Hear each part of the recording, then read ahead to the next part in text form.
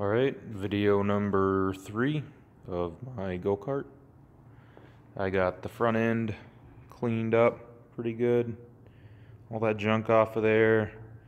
Took the wheels off, the motor off, the axle, brakes, all that stuff. Stripped it down. Cut some pieces of metal here to make my pedals. It's gonna go on that middle bar right there.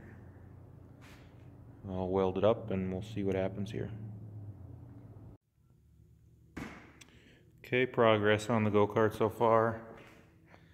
I installed my pedals. Right there, got them all welded up.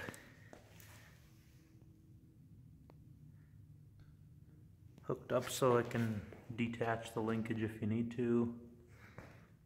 Run it back under the seat to the brake caliper. Use an old tie rod from an old motorcycle of mine. And throttle. Something like that seems to work okay. I don't know if you can see this here, but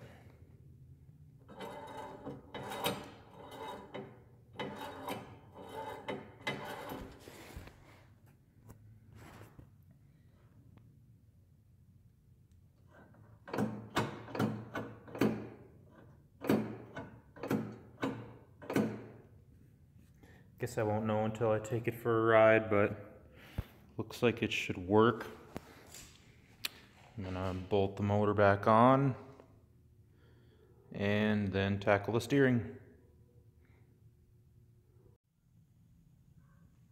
Okay, here's my go-kart. I'd call it about 98% done with the fabrication. Uh, I got my pedals mounted. I think I already shot that in a different video here, but um, what I did do, I cut my spindles off and I added a little caster to it because it seemed to be a little squirrely when I hit the bumps and that seemed to help a little bit. So uh, steering,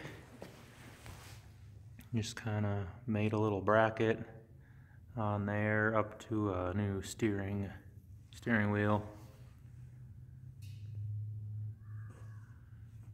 Still have to run the kill switch yet. Probably gonna just put a little switch up in that hole. Got the throttle hooked up. Probably shorten that before I'm completely finished with it, but yeah, it, it's coming along. Maybe a little more support on the spindles to the frame yet. A couple tabs welded on there. But other than that, I think it's about a finished product. Ready to clean up a little bit of those welds yet. Sandblast it and paint it. So I'll probably make one more video of the the finished product before I put it up for sale. So uh, stay tuned for the next one.